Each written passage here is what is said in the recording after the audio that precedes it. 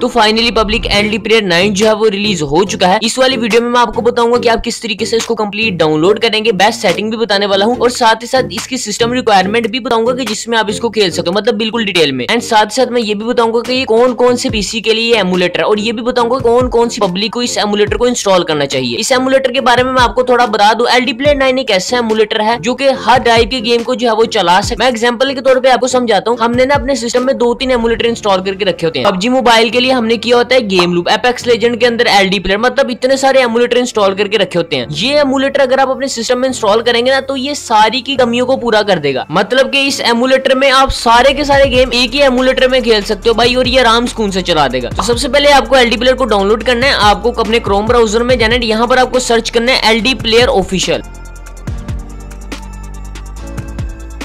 पहली वेबसाइट आ जाएगी L D player dot net की इसको ओपन करो। यहाँ से एल डी को आप यहाँ से डाउनलोड कर सकते हो। डाउनलोड हो जाने के बाद आपको इसको इंस्टॉल करना है। आपको कस्टमाइजेशन के ऊपर क्लिक करना है एंड जहाँ पर आपकी चार जीबी स्पेस खाली हो, आप उस वाली डायरेक्टरी में इसको सेलेक्ट करना है and hit install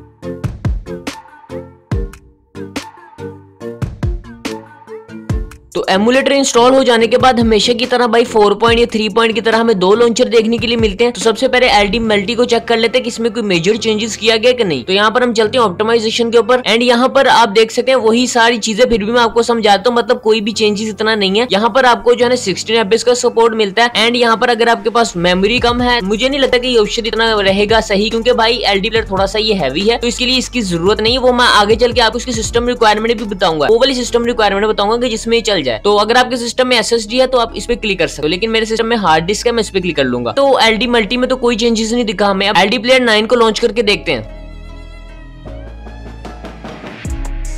मुलेटर लॉन्च हो जाने के बाद इसकी सेटिंग में जाएँ। आपको मैं बेस्ट सेटिंग बता देता हूँ एलडी प्लेयर की, क्योंकि मेरे एलडी प्लेयर में भाई बहुत एक्सपीरियंस है। तो आपको यही वाली रेजोल्यूशन रखनी है। कोर की बात करें तो यहाँ पर आपको जितने कोर्स रिकमेंडेड में बता रहा है, मेरे फोर रिकमेंडेड में तो मैं फोर रखूँगा। इसकी बात करें तो मेरी थ्री जीबी रिकमेंडेड में बता रहा तो मैं थ्री जीबी रखूँगा। मॉडल्स के ऊपर जाना है आपको। एंड यहाँ पर आपको जो है ना, यहाँ पे वन ट्वेंटी एफ़ सेलेक्ट करके हाई के ऊपर सेट कर देना है। यहाँ पर आपके सोर्स की डिवाइस आ जाएगी गेम सेटिंग में जाना है। यहाँ पर आपको नाइनटीन एफ़ सेलेक्ट करने हैं। डोंट वरी इससे आपकी गेमिंग परफॉर्मेंस में फ़र्क नहीं पड़ेगा। ए टेक्सचर को आपको अनचेक कर देना है। ऑडियो को आपको नहीं छेड़ना नेटवर्किंग की ज़रूरत नहीं है। शॉर्टकट को आपको नहीं छेड़ना वॉलपेपर्स में जाना यहाँ से आप अपना वॉलपेपर सिलेक्ट कर सकते हो। चूज़ अदर के ऊपर क्लिक करना है रूट परमिशन एनेबल कर लेनी एंड से and restart now emulator launch हो जाने के बाद अब मैं इसका एंड्रॉइड वर्जन आपको चेक करवा देता हूँ। इसके लिए आपको जाना है इसकी सेटिंग में एंड यहाँ पे आपको स्क्रॉल डाउन करके अबाउट उस पर क्लिक करना है। यहाँ पर हम बात कर लेते हैं यहाँ पे एंड्रॉइड वर्जन की तो यहाँ पे एंड्रॉइड नाइन आपको देखने के लिए मिलता है। अब एंड्रॉइड नाइन का कई बंदों को पता नहीं होगा, बेचारे सीधे साधे, इसलिए मैं उनको थोड़ा सा बता देता हूँ। ये जो एंड्रॉइड नाइन है इसमें आप तकरीबन हर टाइप के गेम खेल सकते हो। लाइक आप एपेक्स लेजेंड अगर आपको पता होगा, वो किसी भी एमुलेटर में नहीं चलता, वो हाई एंड एमुलेटर में चलता है। 64 बिट का जो एमुलेटर है। तो इस वाले में आप एपेक्स लेजेंड को भी जो है वो अपने लो एंड पीसी में आप ये बोल सकते हो, खेल सकते हो। अभी हम इसकी गेमिंग परफॉर्मेंस भी चेक करेंगे। मतलब वैसे तो ये सही दिख रहा है, लेकिन गेमिंग परफॉर्मेंस हमें कैसी देता है, वो हम अभी टेस्ट करने वाले हैं। यहाँ पर आपको एप्लीकेशन डाउनलोड करने के लिए आपको एप्स के ऊपर जाना है एंड गूगल प्ले स्टोर का आपको यहाँ पे ऑप्शन मिलता है। साइन इन के ऊपर आपको क्लिक कर देना। हमारा प्ले स्टोर लॉन्च हो चुके सेमुलेटर के बारे में मुझे एक चीज़ अच्छी लगी है, जो कि मैं आपको बताना चाहूँगा, जो कि हो सकता है आपकी काम की हो। आपके आप में से बहुत सारे लोग जो है, वो बैंक अकाउंट जो इजी पैसा के एप्लीकेशन होते हैं, वो आपको पता है कि एमुलेटर्स मेरा नहीं होते। तो वो सारे के सारे एप्लीकेशन यहाँ के मैंने पर्सनली अपना जो बैंक का अकाउंट की इन्फॉर्मेशन है मतलब मैंने इसमें बैंक का एप्लीकेशन इंस्टॉल किया और वो इंस्टॉल हो जाने के बाद ओपन भी हो गया। इसके अलावा यहाँ पर मैंने एपेक्स लेजेंड जैसे हाई एंड गेम को भी खेला है, और इसलिए एपेक्स लेजेंड को डाउनलोड करना कोई मुश्किल नहीं है। आपको प्ले स्टोर पे लिखना है एपेक्स लेजेंड तो यहाँ पर आपको आपको एपेक्स लेजेंड देखने के लिए मिल जाएगा। सारे के सारे मतलब फुल वर्जन है। विदाउट वीपीएन आप किसी भी कंट्री में इसको खेल सकते हो। यहाँ पर आपको पबजी मोबाइल या बीजेएमआई का भी सपोर्ट मिलता है। अब यहाँ पर जो कि हम इसकी टेस्टिंग करें, उससे पहले मैं आपको इसके कुछ सिस्टम रिक्वायरमेंट के बारे में बता देता हूँ। देखिए, इसकी ऑफिशियल सिस्टम रिक्वायरमेंट आपकी स्क्रीन के सामने लेकिन तब भी मैं अपनी सिस्टम अपने ओपिनियन के साथ आपको बता सकता हूँ कि इतनी सिस्टम रिक्वायरमेंट पे आप पबजी मोबाइल एपेक्स लेजेंड जितने भी गेम्स हैं या फ्री फायर हो गए, उनको आप आराम स्कून से खेल सकते हो। यहाँ पर अगर हम ऑपरेटिंग सिस्टम की बात करें तो आपको कोई भी ऑपरेटिंग सिस्टम हो, ये चला लेगा। विंडोज़ सेवन कोई भी, कोई फ़र्क नहीं पड़ता। यहाँ पर हम रैम की बात करें, आपके सिस्टम में चार जीबी रैम होनी चाहिए। प्रोसेसर की बात करें तो यहाँ पर आपको टू कोर्स जो है वो इसमें चाहिए, ठीक है, चलाने के लिए। लेकिन आपका जो प्रोसेसर है, उसमें वर्चुअलाइजेशन टेक्नोलॉजी अनेबल होनी चाहिए और इस एमुलेटर को चलाने के लिए, जी हाँ आपके सिस्टम में ग्राफिक कार्ड भी होना चाहिए। अगर आपके सिस्टम में ग्राफिक कार्ड नहीं है, आप एल डी प्लेयर नाइन को यूज़ नहीं कर सकते। ये आपके लिए नहीं बना।